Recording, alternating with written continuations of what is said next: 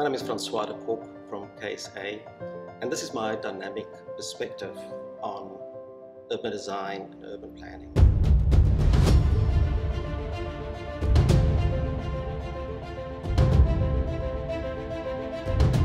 My design ethos in landscape architecture is really sustainability.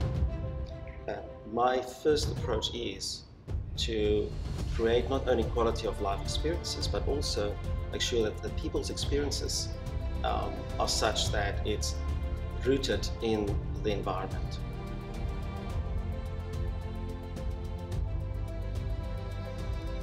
Well, I've not always been from Texas. In fact, I am from the deep south, even further south, South Africa. Then I always had the dream to study in America. I got the opportunity in 98 in 99, I studied at the Harvard Graduate School of Design. After I finished my studies, I got an opportunity here in the Dallas area. I had great experience working for an engineering company where I learned everything about the way engineers think about the built environment and how we as landscape architects and urban designers and urban planners can actually contribute to the built environment.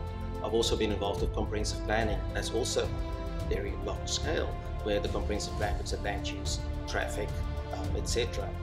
But then I've also uh, had the opportunity to work on a much smaller scale, work whether it's the design of a park, and how that, is, that park is experienced, what you provide, pavilion, um, uh, playground, etc., or ball fields uh, for a community. My desire for becoming a landscape architect goes back to when I was still at, at school. Um, must have been 17, I guess. I want to design with nature in mind. At the same time, I want to create quality places where communities have quality of life experiences because the natural environment is incorporated within the built environment. I am extremely excited about my position at KSA.